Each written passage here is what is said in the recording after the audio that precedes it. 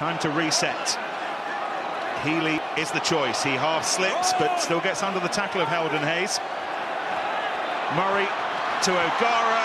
O'Driscoll feeding it wide. This is Earls, and that might be the moment that the debate